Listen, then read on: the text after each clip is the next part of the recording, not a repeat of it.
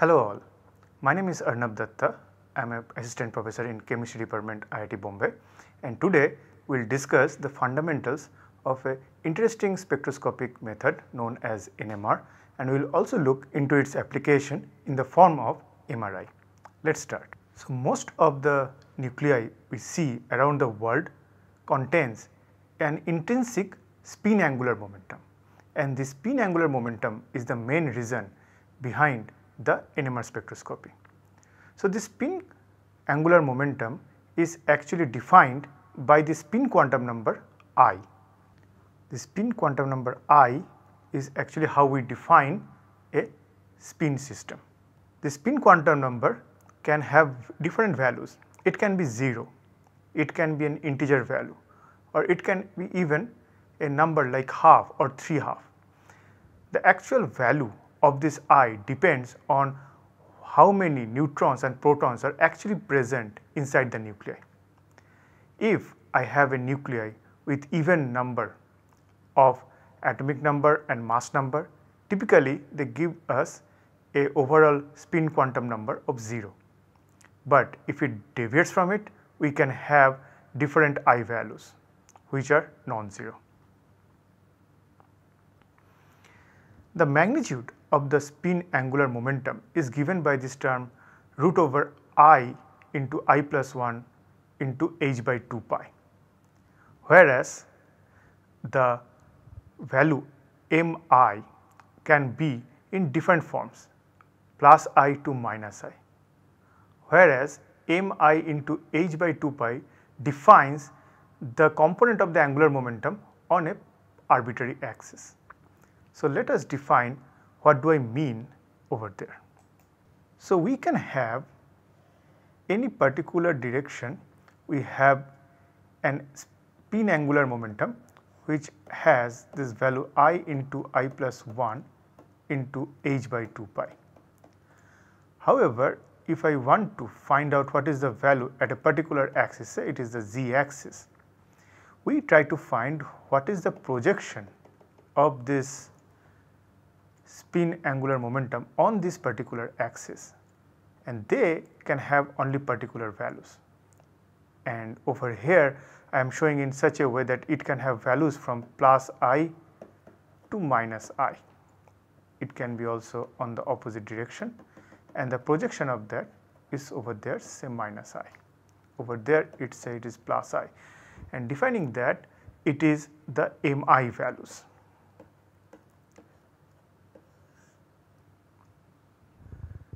Now, with that thing sorted out,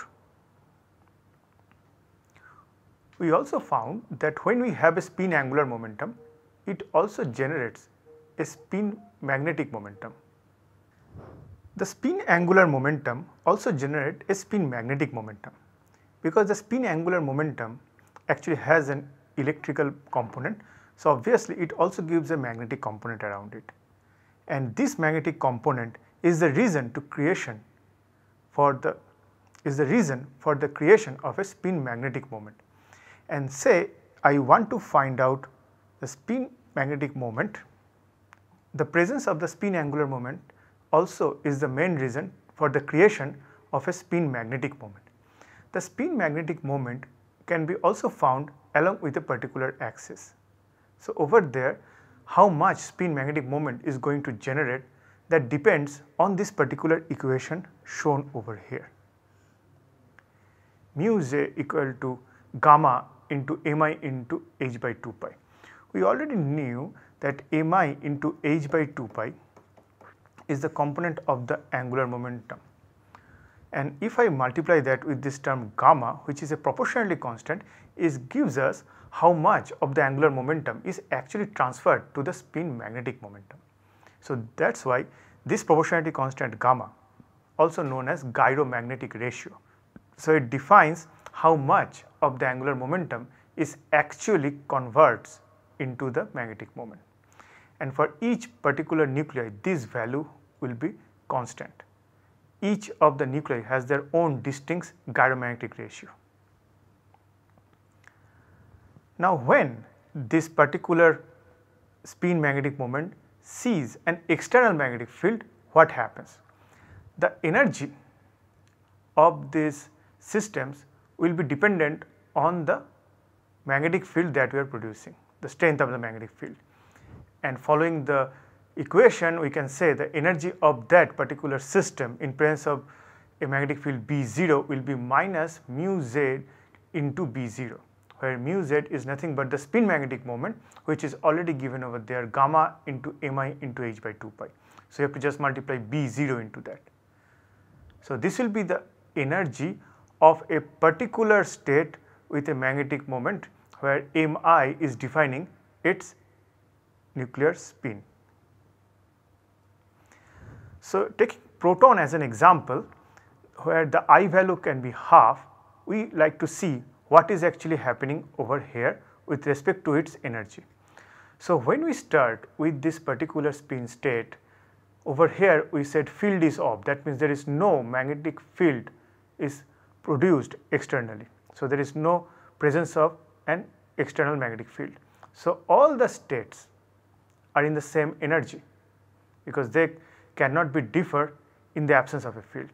However, at once we turn on the field the two Mi states because proton has an I value of half. So, it can have the different Mi values plus half and minus half and in the presence of magnetic field it get differ in minus half and plus half. Over here the plus half is actually lower in energy. Why? Because as we know over here energy is actually given by minus gamma into mi into h by 2 pi into b0. Now mi can have a value of plus half or minus half. So if I have a plus half value because of the presence of this minus sign that is going to be lower energy which will have a value of minus half into gamma into b0 into h by 2 pi. Whereas when it is minus half state this minus sign from this mi value and minus n already present in the equation will combine together and give me a higher energy state whose energy will be plus half into gamma into B0 into h by 2 pi. So, that is how they split it up and the difference of their energy if I subtract them down it will be gamma into B0 into h by 2 pi which is given over there. Now again coming back to this system why this Mi state differs because whenever we are putting a magnetic field from outside the magnetic moment present due to the spin state actually start precessing around this particular magnetic field. So, say if this is the magnetic field it start precessing around it. So, it will look like more of like a cone around which it is precessing. So, this particular moment is actually generated which is also known as the Larmor frequency. So, over here when it is re precessing around this external magnetic field B0, what is going to happen how much of the magnetic moment is actually projecting on that magnetic axis of the external magnetic field axis that is going to be having two different values. It can be either plus half or minus half and depending on that we say we have these two particular values plus half and minus half. So, that is the main reason behind the splitting of the magnetic spin state in the presence of a magnetic field. Otherwise, the spin state cannot be differentiated. Only in the presence of magnetic field they get differentiated. So, once they get differentiated now we have a particular energy gap and we can go from the ground state to the excited state. If I can give an electromagnetic radiation whose energy perfectly matches that energy gap that we have created which is nothing but gamma into B0 into h by 2 pi. And when these two actually can be equated, we can say the resonating condition has been met. So, again just telling that thing one more time.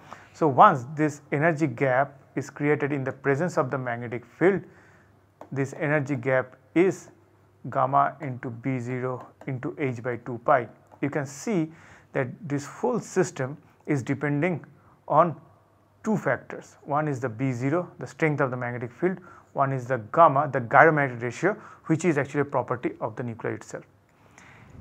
And this part is going to equate with the resonating condition, we can actually match that with an external electromagnetic radiation which can bring the ground state nuclear spin to the upper state by flipping it. And when they match, I, we have the resonating condition which says that it is going to be equal to h nu. And as we just said the difference of this energy state depends on two factors the gamma value and the B0 value. So, generally we actually use a magnetic field strength around 12 Tesla. So, typically we use a magnetic field strength around 12 Tesla. With that amount of magnetic field, we created enough space such a way that this space can be covered with a h nu where the nu is actually belongs to the radio frequency region. So, that says that this energy gap is actually pretty low because radio frequency is one of the weakest electromagnetic radiation with respect to energy. So, if we look back again, so it is a electromagnetic radiation can be the important factor to bring the lower magnetic spin state to the higher magnetic spin state where the spin can be flipped. Now, the other important factor as we just discussed is the gamma factor which actually says that the how much the energy gap will be the nuclei itself will have a say because each nuclei has their own gyromagnetic ratio. And over there we can say if I use the same magnetic field 12 Tesla the energy gap will be different for different nuclei. And over there I am taking example of 3 different nuclei. So, we have taken there 3 different nuclei proton 13C and 31P.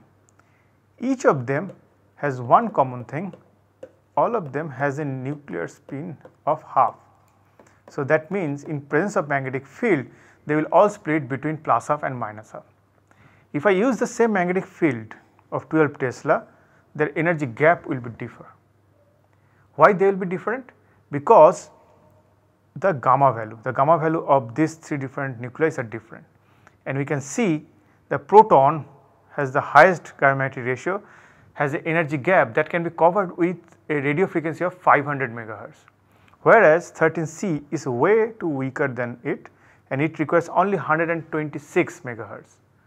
The 31P is stronger than 13C but weaker than proton as per the value of the gyromagnetic ratio of that particular nuclei and we have a resonating frequency of 202.5 megahertz. So, over there we can say that the overall energy gap will differ in two different the overall energy gap between the different nuclear spin state in the presence of magnetic field will be dependent on two different factors. One is the external magnetic field its strength and the second is the gyromagnetic ratio which will be intrinsic property of the nuclei itself. Now, how the NMR spectroscopy can be used to understand the property of a molecule. So, whenever we produce an external magnetic field and try to see how it is affecting the splitting of the different nuclear spin state, there is one more thing can be important and that is each of the nuclei in a molecule is present around electron field and the different molecule, different nuclei, not all the time their environment is same and depending on the environment they can have a little bit more electron density or less electron density coming from the structure of the molecule. And those electronic environment around the system also creates a local magnetic field which is generated because those electrons are present in an orbital. An orbital generates an orbital magnetic momentum which actually creates a local magnetic field which is given over here as B dash. And this local magnetic field can come around the system along with the external magnetic field. So, when we have the external magnetic field B0, this local magnetic field B dash can also come into there and they will combine to give the actual magnetic field actually felt by the nuclei. So, this B dash can be positive or negative depending on their orientation of the electron and the actual resonating condition will be different now. So, in a condition where there is almost negligible electronic effect, what do we expect? That the resonating condition will be met with gamma into h by 2 pi b 0 because b 0 is the magnetic field that is they are experiencing and that can be resonated with the h nu 0. Nu 0 is the condition where it matches the energy gap created by this magnetic field b 0. However, in a molecule the presence of the electronic environment creates an external magnetic field which gives us this value b dash. So, altogether the actual magnetic field the molecule is experiencing is that b 0 plus b dash and if we now want to resonate that cannot be happening at h nu 0 it needs a totally different value which is given by nu. So, this will be the new resonating condition to balance the presence of this extra local magnetic field. And the difference where and this new condition where we are actually resonating this nu can be differentiated with respect to the nu 0 where it should be in the absence of magnetic field and it can be given by this term delta which is given by this expression which is nu minus nu 0 divided by nu 0 into 10 to the power 6. So, why this particular expression? Because nu minus nu 0 by nu 0 is giving an idea no matter what is the B0 or external magnetic field I am using, if I use this particular expression that will be independent of what is the strength of the external magnetic field. So, this will be a more of a universal number. This delta value will be particularly constant at any particular condition all around the world. So, that is why it is known as chemical shift and that is a universal factor when we are, we are expressing that with this particular expression. And over there we multiply that by 10 to the power 6 because the nu 0 has a value of 500 megahertz if you are talking about the proton, whereas the difference comes in the unit of hertz. So, megahertz is 10 to the power 6 hertz and the difference is hertz. So, we multiply that with 10 to the power 6, so we can have a number that we can play with very easily. So, you have a number like 5 or 6 rather than 5 into 10 to the power minus 6. So, that is why we multiply that with 10 to the power 6. And that is why there is a unit comes along with that which names as ppm parts per million which is not really an unit because over there you can see nu minus nu 0 divided by nu 0 it should be a dimensionless quantity and it is, but we still consider this ppm written around it so that it can remind us that it actually gets multiplied by 10 to the power 6 or by a million number so that we can get this particular value. So, that is known as chemical shift. And again coming back to that this chemical shift is totally dependent how much local magnetic field I am creating and that is why this delta value is nothing but a detector of what is the chemical environment around the system. Now the unique thing is that this particular delta value is going to be constant for a particular group in a particular molecule. And if we want to measure different molecules at a time, we also need to know where is the nu 0 value. So we need a standard molecule which we exactly know it has such a electronic field present around it that it cancel each other out and there is the local magnetic field is almost negligible, it only fills the magnetic field created by the external one. So, one of such molecule is tetramethylsilane in short form it is known as TMS which is nothing but a silica bound with 4 methyl groups and this molecule gives us a delta value of 0. So, that means if I am doing an experiment and use tetramethylsilane we know exactly where we should expect to see that graph and in that graph the signal is going to come at delta equal to 0 ppm. And why it is very easy to use because it has a very good solubility in all different kinds of solvents and at the same time we do not need to use a lot of this particular standard because it has 12 protons present there which are all in the similar environment. So, we always got a very good signal even with a minute amount of the standard. So, that is why this tetramethylsilane is used as a common standard all around the world especially for the proton and also for the 13C NMR spectroscopy. The chemical shift values as we just discussed is actually gives us an idea what is the electronic environment around the molecule especially around the nuclei we are discussing. For an example say we are talking about proton NMR.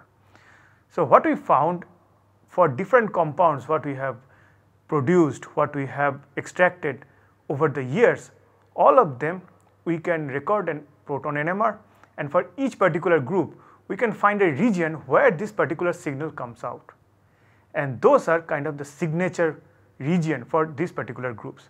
For an example, we can start with these alkane groups and we can see the alkane groups comes around the delta ppm value between 0 to 2.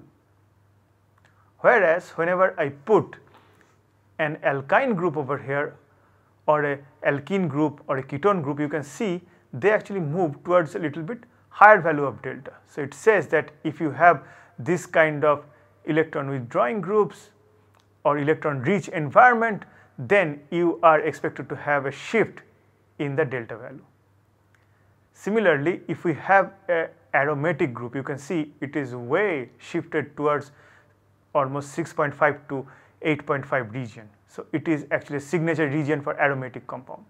If you have an acid group, you can see it shifted further beyond 10 ppm region. So, each of this region is actually signifying the presence of one particular proton in a chemical environment. So, that is why these chemical shift values can be a testament for the presence of particular groups. So, with respect to that we can easily follow and find out not only whether this particular group is present or not and even can follow their change during an experiment. So, that is why NMR spectroscopy is a very powerful tool for the structure elucidation of different compounds. Now we come to the second part of this NMR spectroscopy which is an application which is known as MRI or magnetic resonance imaging. MRI is quite a common term nowadays in the medical field because whenever we get injured in our body we generally try to do an MRI scan and it actually gives us an idea what is actually happening around our body. So, in MRI which is nothing but a particular kind of NMR where we actually follow the proton NMR and the proton NMR we follow from the water molecule because water molecule is quite common in a biological system and then we try to find out what is the behavior of the proton in a particular region generally in thin slices of our body. And over there we try to find in 3 dimensional orientation how the protons are behaving. And over there we try to mostly find out the behavior of the proton under this particular condition where we put the external magnetic field of 1 to 1.5 Tesla. You can imagine that it is almost 10 times lower than the 12 Tesla we use for a 500 megahertz NMR machine. So, over here the resonating condition met with much more lower energy with 40 to 70 megahertz of radio frequency. The NMR at the same time these are non-evasive techniques because we are not using very strong magnetic field or very strong radio frequency which can affect our body otherwise. At the same time this NMR experiment we can find out what is happening in the water very quick from seconds to minutes. So, it is a fast and rapid diagnostic tool. So, this is a diagram how the MRI actually looks like. So, over here this is where we put ourselves in and over there you can find there are two different coils. One actually contains the magnetic field, the other one is the radio frequency coil and we use both the magnetic field and radio frequency coil simultaneously to get the idea what is happening about the water around our body. And this is how it looks like from the outside, the MRI instrument. Now, when we look into the proton NMRs of water molecule in MRI, we actually generally try to look into their intensity. and we look into the intensity by following what happens to the relaxation dynamics. So, what do I mean by relaxation dynamics? So, whenever we actually put an external magnetic field, the two states splits up I equal to half, I equal to minus half. And whenever we excite that with the electromagnetic radiation, some of the spin flips and go to the excited state from plus half to minus half. And then it relaxes back again and then we give the electromagnetic radiation so that it can go back again. So, this process continues. So, when the high energy state nuclear magnetic spin state comes down to the ground state, it is known as the spin relaxation. And this spin relaxation can give me an idea how the proton is behaving because the spin relaxation is dependent on its environment because it can relaxes through these two different methodologies spin lattice and spin spin interaction. Spin lattice is the interaction between the spin and the other environment the electrical environment around it. Whereas the spin spin relaxation happens when there is another spin moment present around it. So, with this particular system it gets relaxed and we can follow what is actually happening and that is what we do in MRI. However, we generally use a paramagnetic agent which creates a huge amount of local magnetic field and that help us to understand what is actually happening when this paramagnetic sample present near the system we are diagnosing. And these are known as MRI contrast agent because they actually create a very good contrasting when they are present. For an example, one of the system we use very regularly is the gadolinium plus 3 system. Gadolinium is a F block element which has 7 unpaired electron in its plus 3 oxidation state. So, 7 unpaired electron which has a huge local magnetic field. And you can see over here I am showing it is a MRI of a brain and over there there is a tumor over here, but we cannot see it very properly although we can see there is a difference when you are doing the MRI, but we cannot see it very precisely exactly what is happening. But once we inject this gadolinium system near to it, it actually clearly shows what is happening over there because in presence of this strong local magnetic field, the water molecules over here behave differently compared to the other parts and that actually creates the contrast and over there we can easily see the tumor over here. So, that is the effect of a MRI contrast agent which actually nothing but creates a local magnetic field around it and generally this gadolinium F7 system is the most common one that we actually use during an MRI. So, with that we will come to the summary of our this segment. We start with the NMR which is nothing but a study of the spin magnetic moment and how it behaves when we create an external magnetic field around it. The spins actually deviates with respect to its spin quantum number and it can go to plus i to minus i values. The most common one is proton which actually goes to plus up to minus half state. And this energy gap depends on the strength of the magnetic field and also the gyromagnetic ratio. So, that is why this difference is also very specific for particular nuclei.